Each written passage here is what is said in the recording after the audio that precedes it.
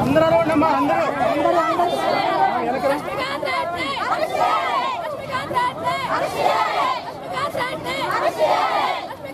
బాబు చూడండి అరవండి గుండె వేసుకున్నాండి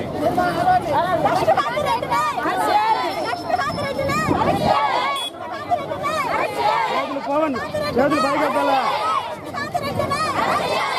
చేతులు చేతులు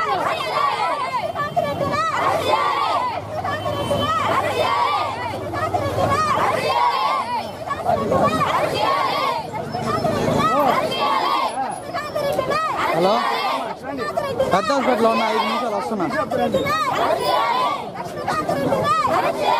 వస్తున్నా ఐదు నిమిషాలు ఉండు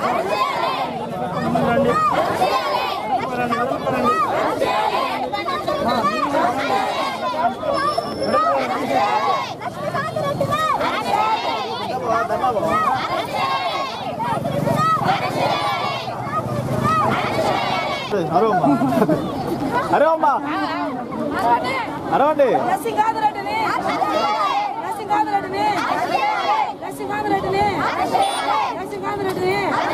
పేరు మస్తాన్వి.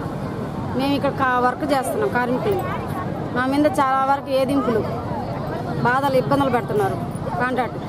టయానికి వచ్చినా కూడా ఏదో ఒకటి సొడ్డు పెట్టి ఆయన మాట వినకపోతే పక్క పక్క తొలగిచ్చేస్తున్నాడు. జీతాలు చూస్తే సక్రంగా వేయటంలా మూడు నెలల జీతం ఆగిపోయింది శాలరీలు సక్రంగా పెంచలేదు. మా మీద అదే ఇబ్బందులు గురి చేస్తా బాధలు పెడతా హింసలు పెడతా. ఇదే గవర్నమెంట్ వేసి ఇట మీరు సంతకాలు సూపర్మెంట్ సార్ కాగితాలు ఇండమ్మా అన్నారు. సర్లేని ఇచ్చాం. ఎందుకు ఇచ్చారు? మీరందరూ ఉద్యోగం నుంచి వెళ్ళిపోవాలి బయటికి. అని మా మీద ఒత్తిడి ఎక్కువైపోయి ఇబ్బంది పెట్టేశారు.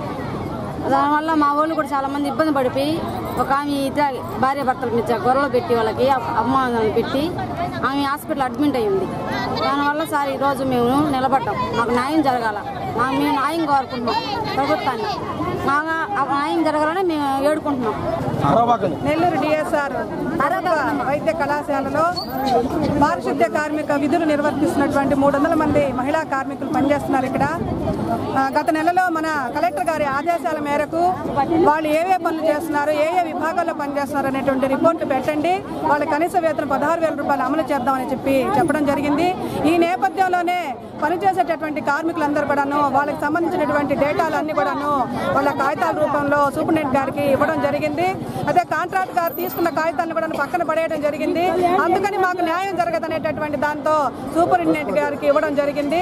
ఇది చూసినటువంటి కాంట్రాక్టర్ లక్ష్మీ కాంత్ రెడ్డి నా ముందే సూపరింటెండెంట్ గారికి ఇస్తారనేటటువంటి కక్ష సాధింపు చర్యలో భాగంగా ఈ కుమారి అనేటటువంటి అమ్మాయి క్షమాపణలు కూడా ఏడుకుందంట. సార్ నాకు తెలియక నేను చేశాను నా తప్పు పొరపాటు అయిపోయింది నా తప్పు కాయనని చెప్పి బతులాడుకున్నా కూడాను ఆమెకు విధుల్లో నుంచి తొలగించేటటువంటి ఉత్తర్వులు ఇవ్వడం జరిగింది. భర్త అడిగారంటే ఏంటి నువ్వు డ్యూటీకి వెళ్ళడం లేదని అంటే నన్ను తొలగించారని చెప్పిన తర్వాత ఆయన ఫోన్ చేసి కనుక్కుంటే మీ భార్య ఇక్కడ విధులు నిర్వర్తించడం లేదు. ఫోన్లు పట్టుకోవడం ఫోన్లతో మాట్లాడుకుంటాను అటు ఇటు తిరుగుతూ ఉంది. అందుకని చెప్పేసి నేను తొలగించానని చెప్పి చెప్పడం జరిగింది. ఈ సందర్భంలో ఆ కుటుంబంలో కూడాను ఆ భర్త అనుమానంతో నువ్వు విధులు నిర్వర్తించకుండా ఎవరెవరితో తిరుగుతున్నావు? అని చెప్పేసి కుటుంబంలో కూడా గొడవలకు కారణమైంది. ఆ మహిళ మనోవేదంతో కూడాను ఆ అమ్మాయి సూసైడ్ అటెంప్ట్ చేయడం జరిగింది. కాబట్టి ఈ చర్యకు పాల్పడినటువంటి లక్ష్మీకాంత్ రెడ్డి మీద చర్యలు చేపట్టాలి. వెంటనే అతన్ని ఈ కాంట్రాక్ట్ నుంచి తొలగింపు చేయాలని చెప్పేసి ఆ బాధితురాలి రాలు కుమారికి న్యాయం చేయాలని చెప్పి ఈ సందర్భంగా మహిళా సంఘంగా సిఐటిగా మేము డిమాండ్ చేస్తున్నాము. అదే కాకుండా ఇక్కడ ఉన్నటువంటి రూల్స్ ప్రకారం ఏడు గంటలకు వచ్చి తంబేయాల్సి ఉంటే ఆరు గంటలకే వచ్చి మీరు తంబేయాలి లేకుండా వంటి విధుల్లో నుంచి తీసేస్తామని చెప్పేసి ఆరున్నరకు వచ్చినా కూడా బయటికి నెట్టేయడం అనేది జరుగుతూ ఉంది. వాళ్ళు ఎక్కడన్నా కూడా బాత్రూమ్ వాష్ చేస్తున్నా కూడా మీరు ఎక్కడున్నారు పనుల్లో లేరని చెప్పేసి తప్పుడు రిపోర్ట్లు పైకి ఇచ్చేసేసి వాళ్ళందరినీ కూడాను అనేక రకాలుగా ఇబ్బంది పాలు చేస్తూ ఉన్నారు. చాలా డబ్బులు డ్రా అయితే చేస్తున్నారు కానీ వీళ్ళకి ఇచ్చేటటువంటి వేతనం ఏడు వేలు ఒకటి ఐదు వేలు ఒకటి మూడు వేలు ఈ విధంగా మూడు రకాలుగా ఇస్తున్నారు. వీళ్ళ శ్రమను కూడా దోపిడీ చేస్తున్నారు కాబట్టి ఖచ్చితంగా మేము నాలుగో నగర పట్టణ పోలీసు ఎస్ఐ గారికి కూడాను దీని మీద మేము అర్జీ ఇవ్వడం జరిగింది. వీటన్నిటిని పరిశీలన చేసి ఇక్కడ వేధిస్తున్నటువంటి సూపర్వైజర్ల పేర్లు కూడాను ఈరోజు మన మనం సూపరింటెండెంట్ గారికి ఇవ్వడం జరిగింది. సూపరింటెండెంట్ గారు కూడాను ఇప్పటి వరకు కూడాను రాతపూర్వకంగా నా నోటీస్కు రిపోర్ట్ రాలేదమ్మా.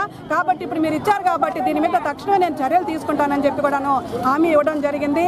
కాబట్టి ఎవరైతే పారిశుద్ధ్య కార్మికులుగా ఎవరూ చేయలేని పనిని హాస్పిటల్లో ఉండి అంతా కూడాను పరిశుభ్రంగా ఉంచి ఆరోగ్యానికి ఆరోగ్యాలకి కారణమవుతున్నటువంటి మా ఈ పారిశుద్ధ్య కార్మిక చెల్లెళ్ళందరికీ కూడాను న్యాయం చేయాలని చెప్పేసి మేము ఐదుగా డిమాండ్ చేస్తున్నాం.